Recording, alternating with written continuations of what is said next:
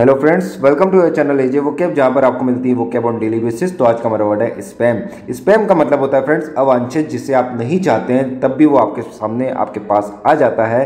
Date is spam आपने mail mail में देखा होगा जी मेल में या किसी भी मेल में आपका जहाँ पर भी ई होगा, वहाँ पर आपने देखा होगा स्पैम का एक फोल्डर होता है। उस फोल्डर में कैसे मेल्स आते हैं, जिन्हें आप नहीं पसंद करते, वो डायरेक्ट आपके स्पैम फोल्डर में चला जाता है। तो स्पैम का मतलब होता है फ्रेंड्स अवांछित, जिसे आप नहीं चाहते हैं।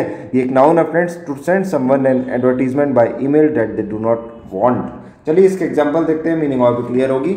Everybody knows that doctor Narayan has a spam story हर कोई जानता है कि डॉक्टर नारायण की एक स्पैम स्टोरी है, अवांछित स्टोरी है।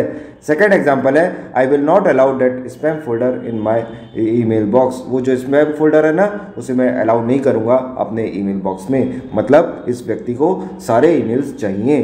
थर्ड एग्ज़ाम्पल है you can block spam callers from your phone जो भी स्पैम कॉलर्स है आपके फ़ोन में, उन्हें आप ब्लॉक कर सकते हो। तो फ्रेंड्स आज का ये वर्ड था स्पैम जो हमने पढ़ा, देखा, सीखा, समझा।